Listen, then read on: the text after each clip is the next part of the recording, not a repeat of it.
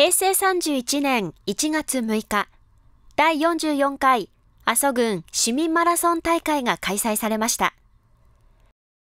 まず、阿蘇郡市陸上競技協会の岩本浩二会長が、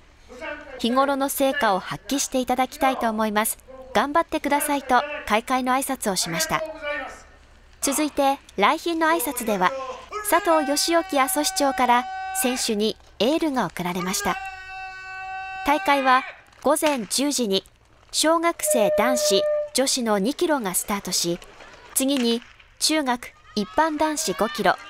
一般高校男子10キロ、中学高校一般女子3キロが順次行われました。この大会は阿蘇郡市陸上競技協会が主催し、陸上競技の普及と健康増進、規律あるスポーツマンの養成を目的に行われるものです。今年は、小里カバル川コースが工事のため、阿蘇市体育館をスタートゴールとする湯の浦コースで見客が競われました。今年も好天に恵まれ、沿道からはたくさんの応援がランナーに届けられました。競技の結果、阿蘇市からは、小学男子2キロで一宮小学校の塚本浩平さん、中学男子5キロで一宮中学校の岩下翔也さん